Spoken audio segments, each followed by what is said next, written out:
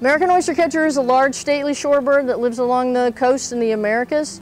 The estimated population size is about 43,000 and about 11,000 in the United States. It's a United States Fish and Wildlife species of concern for several reasons. First of all, they can only live in the coastal zone. Second of all, they have a low overall population size and they have low breeding success. And finally, they have delayed breeding, meaning that the, they don't breed until they're at least three years of age. The oystercatcher population is threatened by a broad range of factors, which include overwash, predation, and pollution. Overwash is an issue because oystercatchers nest on very low islands, thus storms or unusually high tides can overwhelm their nests. Potential solutions include the creation of low mounds of treated shell to extend the height of islands.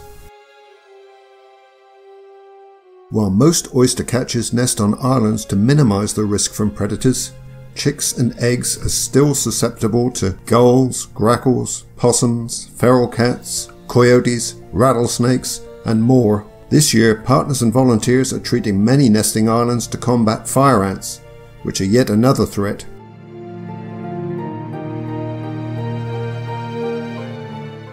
Trash and plastic pollution are significant threats to the oyster catcher.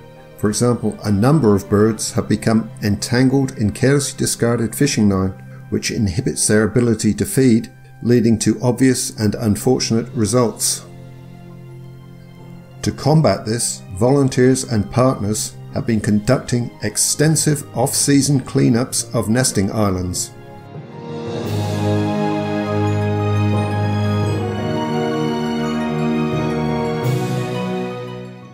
GCBO started a project in 2011 monitoring oyster catchers on the Texas coast that included nest monitoring and color banding of adults and chicks.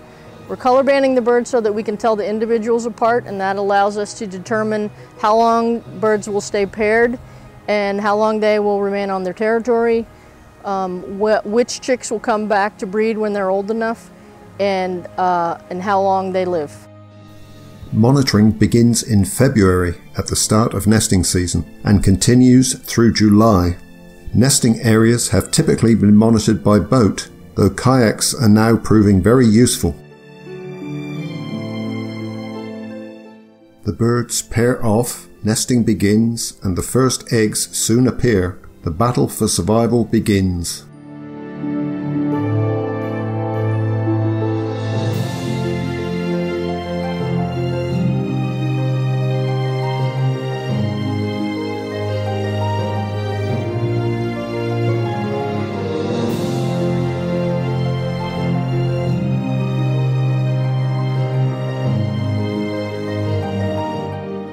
To help identify and track the oystercatcher population, GCBO bans as many adults and chicks as possible.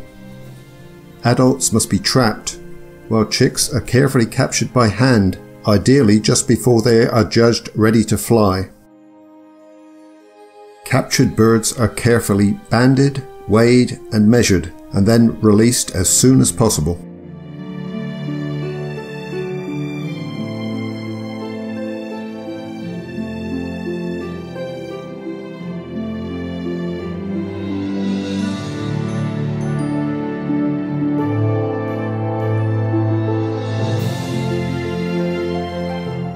In 2015, GCBO in Audubon, Texas began a um, citizen science project monitoring oyster catcher nests in West Galveston Bay.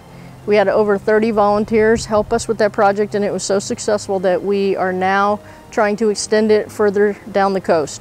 Volunteers will uh, monitor nests with kayaks or using their own power boats. They monitor the nests once a week from February through July and that allows us to keep track of the productivity of the birds and uh, determine what factors may be influencing their breeding success. So I'd like to invite all of you to come join us on our adventure. Get off the couch, stop thinking about it, get in your kayaks and help make a difference to our nesting islands and in particular to our American oyster catchers.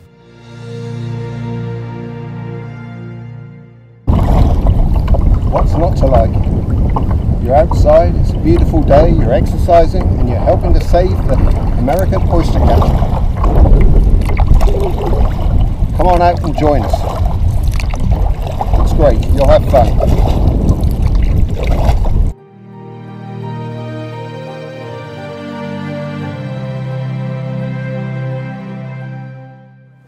If you'd like to monitor an oyster catcher pair or, or a couple of oyster catcher pairs along the Texas coast, please contact me and uh, I will hook you up with the training program that we have and you can get started monitoring as soon as possible.